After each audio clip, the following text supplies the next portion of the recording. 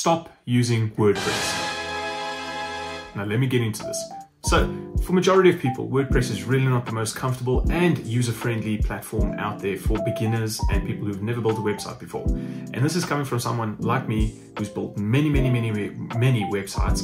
And I started on WordPress, where I got my lingo for it, and then I started developing my way from WordPress to Wix to Shopify and now on Webflow and Figma. So I know what I'm talking about when it comes to building websites, and I'm always expanding my reach about my knowledge base and skills on which platforms I use to build websites. So, in this video, I basically want to touch on the reasons why WordPress is really not the most beginner friendly or the best website platform for people to go to just because everyone else is using it and majority of people seem to be using it still for some reason. Maybe because it's cheap and they just want to get a website out there, but then when they get open with this WordPress dashboard, they are bombarded with a bunch of things and they don't know where to start.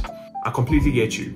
And in this video, we're going to talk about all this stuff around it. I'm going to share the pros and cons a bit on each platform, and then we're going to just discuss the alternatives and which ones I would prefer, obviously, dependent on the niche. And obviously, that is a very good point around which website platform you use as to develop your business's website is very dependent on your business's industry and niche. All right, so let's start off with the hiccups that I've seen and experienced when using WordPress to develop websites for myself, my businesses, and clients' businesses.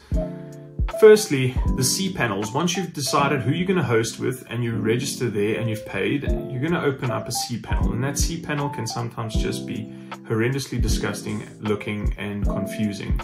So that was my main point. It actually will cause a ton of confusion the moment you land there if you have no experience in building websites. Unfortunately, it is that way.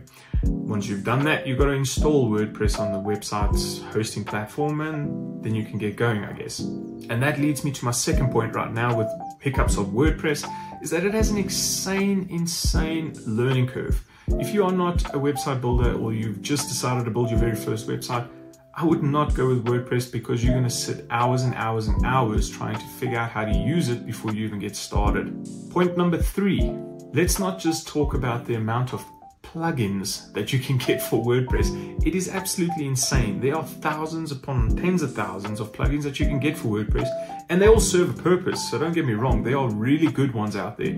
But if you don't know which ones to use, we come back to the very second point of learning curve. You're going to be sitting there for hours trying to figure out which ones are the best, researching, researching all over Google and YouTube and going crazy, hoping you're going to find the best one for you, only to find out maybe it's got a pricing plan or it's not the right one for you. And that leads me to number four right now. Okay, so four is it needs constant and never ending maintenance. It's not like when you go and order uh, or get a package on Shopify, there is just one quick update and it's a click of a button and it just goes right through and there you've got your update. When you do it with WordPress, WordPress has got an insane uh, maintenance side of it that if you just simply update a theme, it kind of leaves you with a whole bunch of other things that need update as well. So um, it's, it's something that people who have websites on WordPress uh, when they log in and they get that little thing on the top that says new updates available, they all start to st- get stressed and start sweating because they don't know what they're going to have to update now. And number five, we're going to talk about security. WordPress, on the other hand, hasn't got the greatest security, and let me tell you why. Because if you go to any website and you just view the source and you can see it's built on WordPress, right? If you just go to the back of the URL at the top and you type in there forward slash WP dash admin, you'll end up on the website's home landing page for its login. Now, that's not very good security because all you need right now is the username and a password. And these days we've noticed it's not that hard to either lose your password or username or give it away without even knowing. So it's really uh, not the greatest when it comes to having a security field for your website in the back end where there are probably plugins and stuff that person can get to obviously up your security level and enable two-factor authentication, etc. But I mean, also now we go back to point two where we've got this massive learning curve. And do you know which ones to choose and which ones will work for your purpose? That's the problem. Point number six that we're going to go into right now is speed. WordPress, on the other hand, has great themes that you can choose from. Some that are good, some that aren't great. And there are developers who've worked behind these themes to make them what they are. So there are developers who develop them for speed and there's some that develop for uh, most functionality around design, and then that affects speed. Now, if you don't know how to optimize your website for speed, because I'm pretty sure majority of people who've decided to go with WordPress are not the most skilled, I guess, in building websites. So if they tend to go with WordPress, they won't know how to up the speed of their website, which ends in shitty load times and Google hating your site and maybe even crashing it. You never know because you're installing and uninstalling all of these plugins that you find on WordPress's marketplace. So without all making your day doom and gloom right now about choosing a website and you've probably gone with WordPress already or whatever the case might be, let's just discuss quickly some WordPress alternatives that you might want to look at, which might help you in the long run. These that we're going to get into have really, really improved over the last few years. Like I cannot explain because I've seen it from a few years ago when I started, you know, how they've developed over the years, it's been drastic, like extremely, extremely drastic. I mean, some of them are now using an integrated AI that is helping you develop copy for the websites. They can even help you build a damn website for that matter. There are tools to do that, uh, not in this video, but I can obviously make a video about that, which will actually show you some of these that you can find. But they've, they've integrated AI, which makes it a hell of a lot easier to, to develop copy, maybe some images, etc. And those places have got developers developing website themes just to help their platforms perform better. It's absolutely amazing what they've developed over these last few years for people to use, and it develops flippin' amazing websites. So I guess for most of you who are watching this video right now, you probably aren't as skilled in building websites as maybe me or someone else. It doesn't matter. If that is you and you're watching this video, you're just probably looking for a damn good looking website. You want it to be easy and functional and probably price is another factor that you're looking at. Well, I've got some alternatives for you that I'm going to share with you right now. Let's get into them. Number one on my list, okay? Definitely going to be Wix.com. Why have I got Wix on the top of my list? Because Wix has got insane packages that you can buy. You know, the pricing plans that I'm talking about right now. It starts as low as like $4 something as of the time of making this video. If you want to just have a simple website, I mean, that'll be great for people who just want to have a portfolio or a simple landing page or something like that. Brilliant for that type of stuff. The customizability is like insane. You can customize it like however you feel like, and there's no code included, so it's just a drag and drop functionality. So for most people, like I just said, you're probably going to enjoy that a hell of a lot more. Well, without getting into further information about Wix, you can obviously check out their pricing on their website, but they have from beginner platforms or packages all the way to enterprise packages and e-commerce and business packages. So you can pick whichever is suitable to your business and your needs and just go crazy and customize the hell out of it. I'm going to share the second one with you right now is Shopify.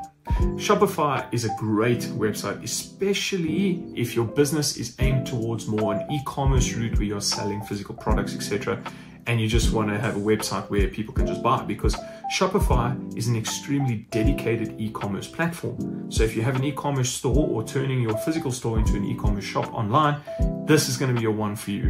It really is good. They're on a bit of a pricier or mid-tier range uh, when it comes to cost, but I think at the moment they are about 25 or $29 a month.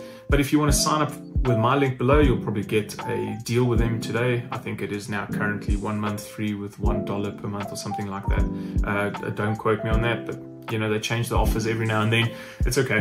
Uh, we'll, we'll, just stick with it. Just click the link below if you want to go through that. Otherwise, just go shopify.com and then you can check it out yourself. But as I said, shopify.com is really the best website for your business if you're going e-commerce, selling products online. And this is just one of the best that you can find. Option number three. Now, this one is a really intricate and really insanely beautiful builder. But if you don't have time to sit and develop, you don't have time to look for animations or build these little intricacies. Ain't nobody got time for that. Webflow is the third option I'm talking about here today it is really not then the one that you should be considering for your business's website or your personal website if you're not into that stuff. I personally have been diving heavily into Webflow at this moment. The connection between Figma and Webflow and how they work and all that stuff, it's just, it's amazing to me. And I'm always trying to upskill myself in this. So if this is something for you, go and check that stuff out. It is really, really amazing how you can integrate that, integrate those two with each other and uh, just develop insanely beautiful websites. I mean, if you just look at some of the examples you can find online, that's what you can build with Webflow. Like it's just insane. So yes, there's my whole video for you about all things website and which one you should choose above WordPress or the alternatives to WordPress, if you will,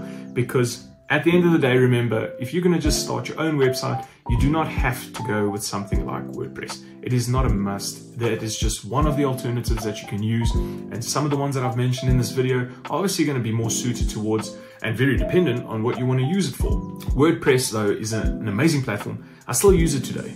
I'm not going to lie. I do use it today for some of my projects, personal projects, client projects, depending on what's going on. But I am leaning more towards the other ones as we go along with the more technology growth, etc. Um, because they are just a lot easier. And if you own an agency, you obviously you know want to pump out more websites than you know harboring on a lot longer projects, if that makes sense, because of the profit input and output, whatever. You know what I mean? Nevertheless, out of all the website platforms that I've just mentioned inside this video, I can highly recommend all of them. Depending on your business and stuff like that, you know, I highly recommend all of them. And they can help you develop whatever's in your mind and put it on a website. It's really, really great, especially with how they're advancing, like I just mentioned. Like I said, if you want to get started today, I have special links down below for you. I've organized these things with these different platforms that I can actually share the stuff with you. And then they've got like some specials, I guess, for you guys if you want to use those links down below. Make sure to check them out if you'd like. And if you guys haven't started your website yet, I just want to tell you to get started because website building is a serious skill and almost every business owner needs it right now. It is becoming more and more prevalent in this digital age. You just need to start. So yes, if you guys enjoyed this video, hit the thumbs up button, subscribe to the channel.